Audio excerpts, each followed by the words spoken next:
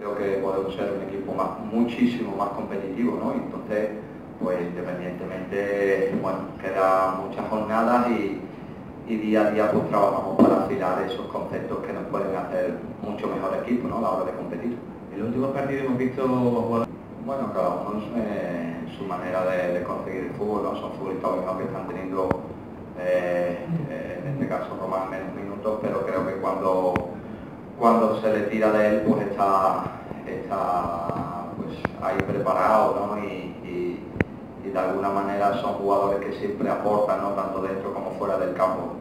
Yo creo que en este tipo de equipos siempre son importantes futbolistas que a lo mejor tienen menos minutos pero que el entrenador sabe que cuando lo necesite va a estar ahí. ¿no? Yo creo que de eso también se compone un equipo de fútbol y, bueno, a lo largo de, la temporada seguramente lo, lo necesitaremos porque porque son muchos partidos, muchas jornadas.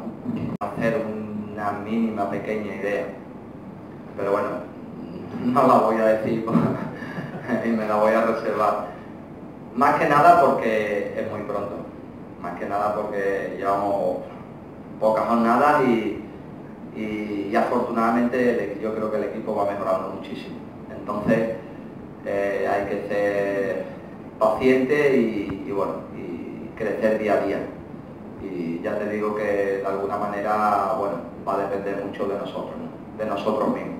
Está claro que ya sabemos la ciencia de, esta competición, lo que nos vamos a, afrontar cada día, cada partido, y va a depender de nosotros. Yo creo que el equipo, por supuesto que le faltan muchísimas cosas, seguimos trabajando para mejorar muchos conceptos, como he dicho antes, pero yo creo que lo que más importante tiene, tiene este equipo es que compite, que compite y que cada partido sale a ganar, independientemente del rival que tenga enfrente. ¿no? Entonces, eh, no me atrevo a decir dónde, dónde estaremos a final de temporada.